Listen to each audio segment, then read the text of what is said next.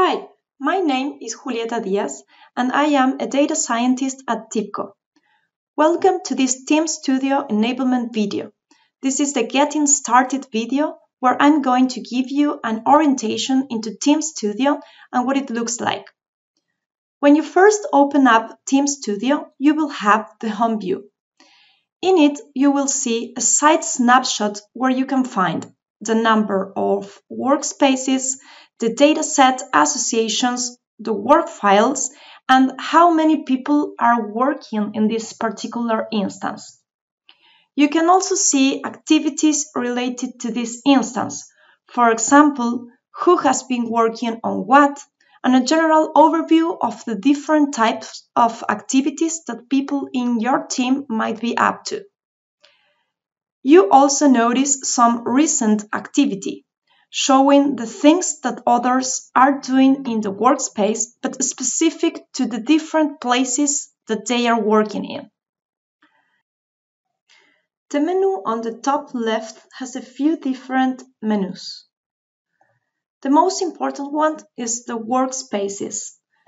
When you land on it, it looks as if it's simply a list of all the different workspaces that are available, along with the different owners of the workspaces. If you like to create a new workspace, all you have to do is go to the right hand side where it says Create New Workspace. In our case, we will give it the name Team Studio Demo.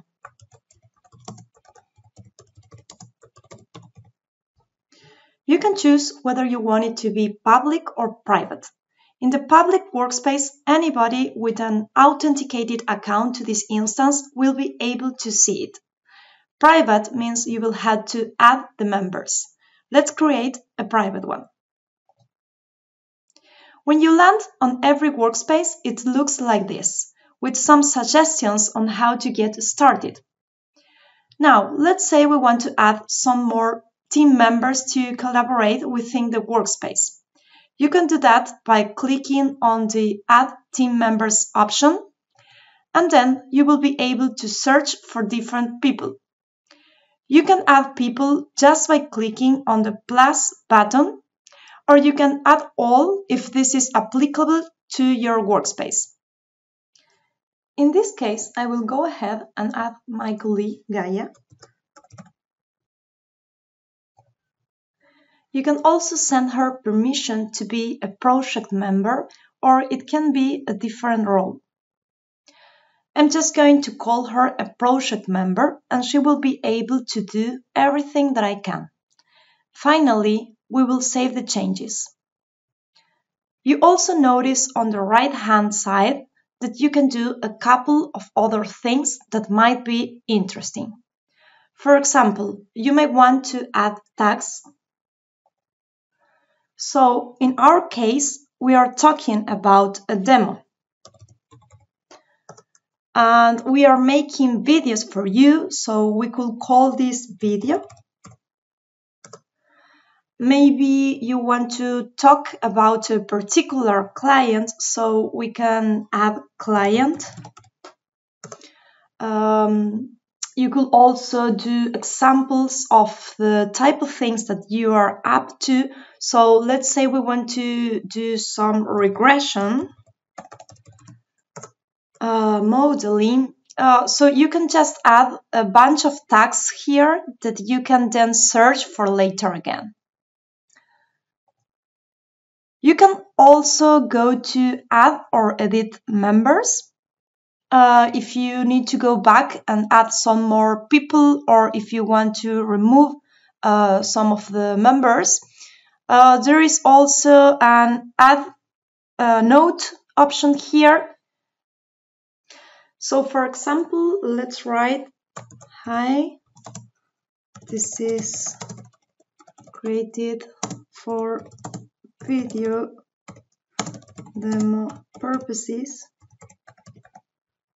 uh, you can also attach certain files in the notes if you think that they are relevant. Uh, when you are in the workspace, probably these tabs here are the most important to you. The data sources, uh, will show whatever is available to you within your instance. In our case, we've got some databases, uh, among which is TDB, and we also have some clusters here, but this will depend on your configuration. The Data tab will talk about specific datasets if we want to associate them with the workflow. The Work Files tab is probably the most important tab, where you can do several things like upload different types of files. You can, for example, upload PDFs or anything that you think you might need in this workspace. You can also create an SQL file, which will be a SQL query. You can add a link if you think that a URL might be important to your task. You can add a Jupyter notebook as well and create new workflows. The Jobs tab is the place where you schedule the kind of tasks that you need to do. Let's go to the Work Files tab again and create a new workflow. First, you have to give your workflow a name. So we can call this video demo workflow. And then you will associate some of the data sources. When clicking on Add Workflow, it will create a workflow and open a drag and drop interface with all the different operators. Thank you for watching. Please check out our other videos for more information on how to do more specific and detailed tasks.